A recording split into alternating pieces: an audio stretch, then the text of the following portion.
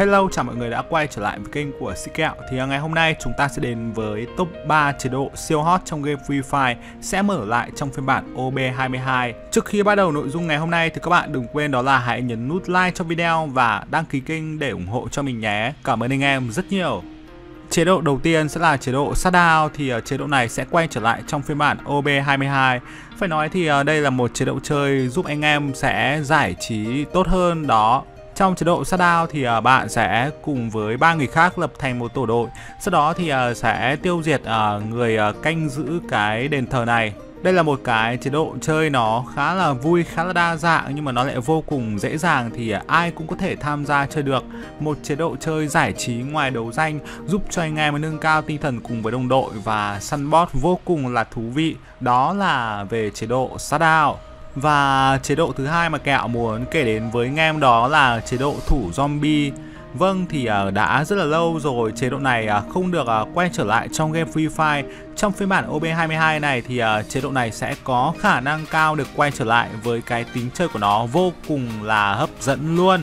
Thì với chế độ thủ zombie này bạn cũng sẽ lập tổ đội cùng với ba người khác nữa tạo thành một tổ đội squad. Nhiệm vụ của các bạn trong cái chế độ này đó là các bạn sẽ thực hiện à, hoàn thành tất cả những cái vòng chơi và chế độ à, này thì sẽ có đó là bốn vòng chơi. Anh em sẽ phải tiêu diệt những cái con zombie ở đây. Mình có đôi lời đánh giá về chế độ thủ zombie đó là chế độ ở đây thì à, nó sẽ cập nhật những cái con uh, zombie thường xuyên đó sẽ luôn luôn thay đổi ngoại hình để cho anh em chơi nó rất là vui luôn. Và chế độ zombie này thì hầu như là nó sẽ rất là dễ chơi. Có sẵn nút auto để cho anh em bắn. Các bạn chỉ cần là di chuyển làm sao cho nó trúng với zombie là ok.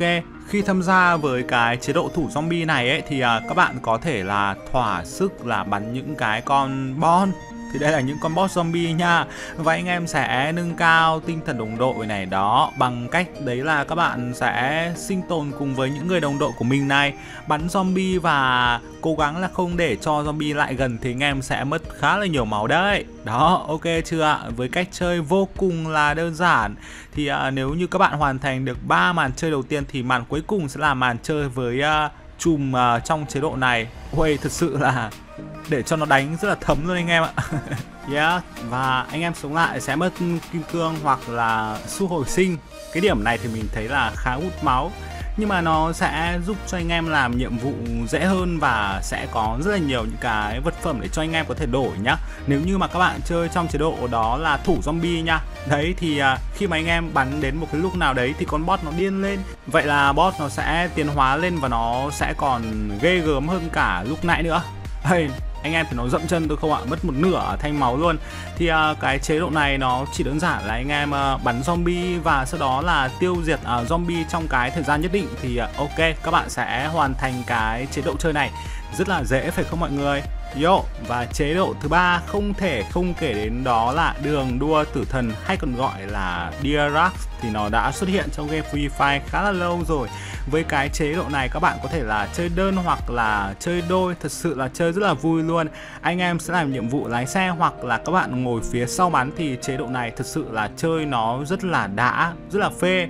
Ngày trước thì à, mình là một cái người chơi đã chơi à, game Free Fire từ phiên bản là OBT2 đến bây giờ là ob 21 rồi thì nên là à, có rất là nhiều những cái cảm xúc với game. Và mình nghĩ rằng là trong phiên bản OB22 thì à, chế độ này nó sẽ được à, quay trở lại thôi. Bởi vì là cũng có một số nguồn thông tin từ những cái page của Thái Lan, Indonesia.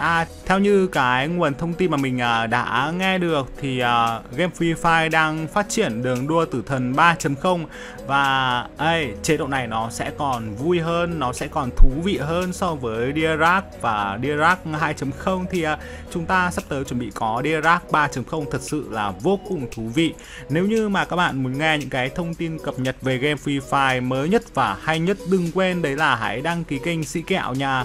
Còn bây giờ thì à, mình sẽ kết thúc video tại đây và hey, bye bye anh em. Hẹn gặp lại anh em trong những video tiếp theo. Những người anh em thiện lành trên kênh Sĩ Kẹo.